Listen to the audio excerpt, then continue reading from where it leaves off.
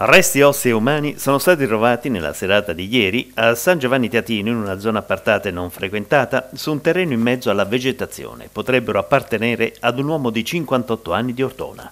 Lo scheletro è stato notato da alcuni ragazzi che si trovavano a transitare e che hanno dato l'allarme. Il luogo del rinvenimento è a una trentina di metri dalla sponda del fiume Pescara, nella parte retrostante del vecchio poligono di Tiro. Sul posto, per i rilevi e per repertare le ossa, sono intervenuti i carabinieri della compagnia di Chieti, coordinati dal maggiore Massimo Capobianco. Secondo gli investigatori, in questa fase non è possibile stabilire né l'età, le cause ed il tempo della morte. I resti repertati e messi a disposizione dell'autorità giudiziaria nell'Istituto di Medicina Legale dell'Università d'Annunzio a Chieti per gli esami di natura medico-legale.